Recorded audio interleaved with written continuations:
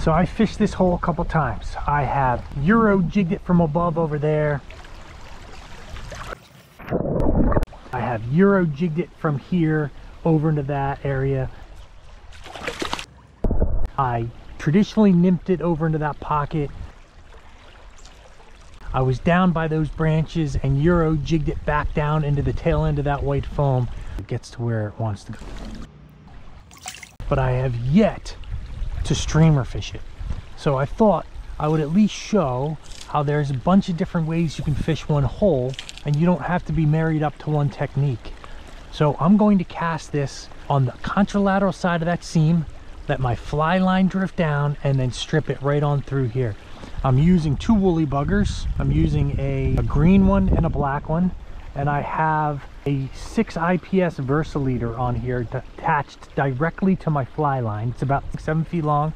And then I have 2 feet of 4X uh, fluorocarbon tippet. And my trailer is about another foot and a half. And I have simple loop knots to both of them to give them a little more action.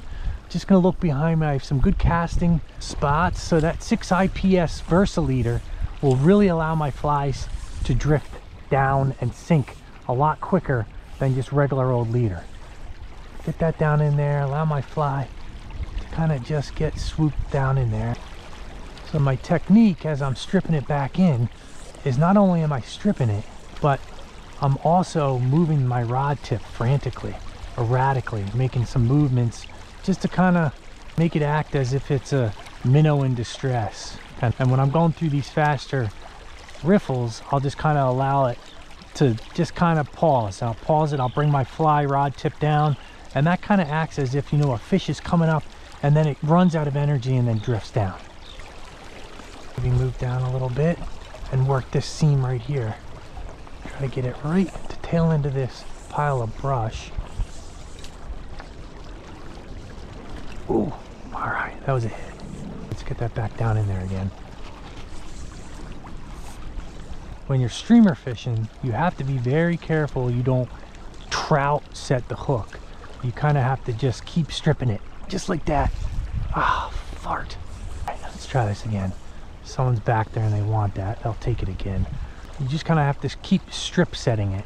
You can't really set the hook like you are setting the hook for a, you know, whether you're nymphing or something like that, when your indicator takes a dip or when someone takes your dry fly, you kind of lift your fly up in the air really quick. I'm still kind of maneuvering my rod tip frantically and then that pause, right? So that little pause kind of allows your flies to sink down and that sometimes causes some frantic instinct. You know, I'm just erratically pulling my fly line in, erratically moving my rod tip and if that doesn't work, then what I'll do is I'll switch it up and I'll do it very slowly. I'll just strip it in slow. So this time I'll strip it in slow. You never know what they want that day. Sometimes they want fast erratic motion.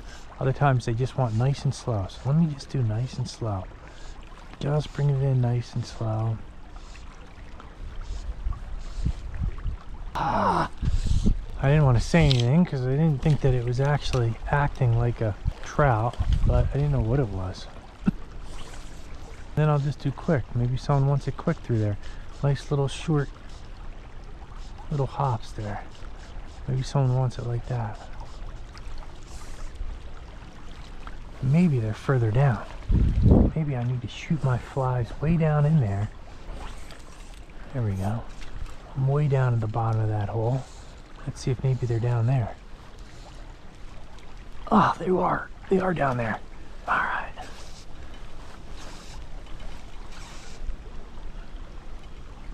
I took the black woolly bugger.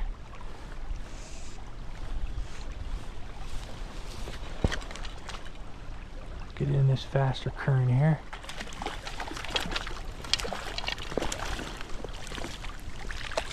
There we go. Pretty fish. Nice spots.